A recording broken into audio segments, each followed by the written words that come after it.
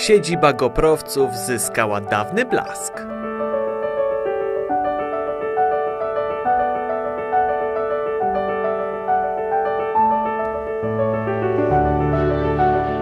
W Jeleniej Górze odbyła się oficjalna uroczystość oddania po remoncie stacji centralnej Grupy Karkonoskiej GOPR.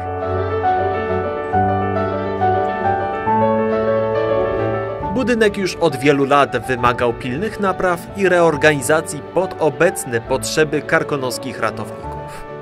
Z czasem znalazły się środki na ten cel. Wsparcie przyszło z Urzędu Marszałkowskiego Województwa Dolnośląskiego. Za sprawą przeprowadzonej inwestycji zmienił się nie tylko wygląd obiektu. Wzrosła także jego funkcjonalność. Została przeprowadzona kompleksowa termomodernizacja e, stacji ratunkowej w Jeleniej Górze. E, Środki uzyskaliśmy dzięki Urzędu Marszałkowskiemu e, Województwa Dolnośląskiego. Bardzo dbamy o to, żeby dolnoślązacy mieli to poczucie bezpieczeństwa, ale bardzo nam też zależy na tym, żeby ratownicy, którzy poświęcają swoje zdrowie i życie naprawdę w godnych warunkach mogli y, przebywać, czy w czasie dyżurów, czy, czy też w momencie, kiedy są akcje i te, stąd też te doposażenie mm, przez Urząd Marszałkowski.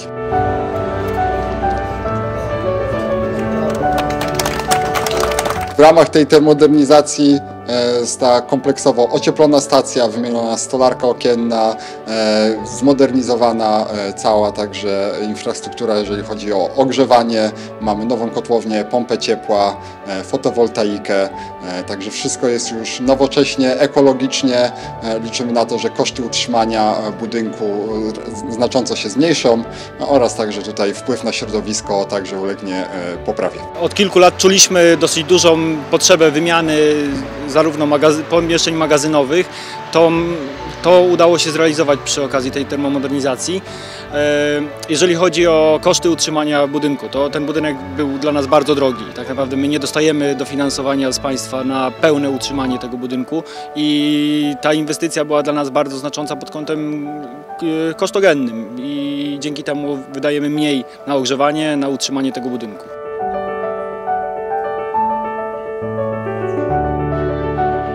Przede wszystkim przestrzeń duża, co pozwala na jakieś poruszanie się. Dostęp do map, do y, komputera też jest y, wygodniejszy, nie trzeba kręcić głową na boki, żeby to wszystko ogarnąć tak jak było przedtem.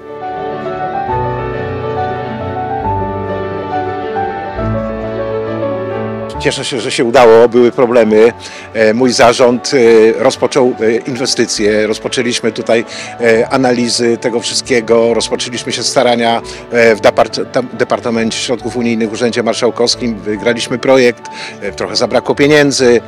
Zmiana warty nastąpiła w lipcu i nowy zarząd stanął na wysokości zadania i dokończył inwestycje, pozyskując dodatkowe środki, bo niestety koszty były większe niż zakładaliśmy na, na początku. Ale piękny budynek, prawda? Piękny. Posłuży wiele, wiele lat, tak jak ten budynek od samego początku. W zasadzie to taki drugi lifting tego budynku e, w 90 latach. Ówczesny naczelnik e, Maciek Abramowicz e, robił taki lifting.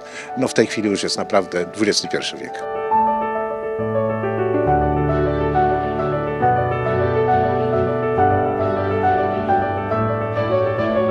Są to spore kwoty, z roku na rok coraz większe, ale też zadania, które ma KOBR do wykonania są naprawdę niemałe. No, widzieliśmy to zimą, ile trudnych momentów było, z których ludzie korzystali z naprawdę profesjonalizmu e, GoPru, tak nie tylko w Karkonoszach, ale w całych Sudetach, ale można powiedzieć i w całej Polsce, bo to nie ogranicza się tylko do tej części gór. I trzeba patrzeć, kiedy patrzę na ten sprzęt, to łza wokół się kręci. Kiedy ja byłem naczelnikiem i dostaliśmy pierwszego Mercedesa składanego w Polsce. To było największe nasze święto, a dzisiaj jak patrzę, to serce rośnie, że mają czym pracować.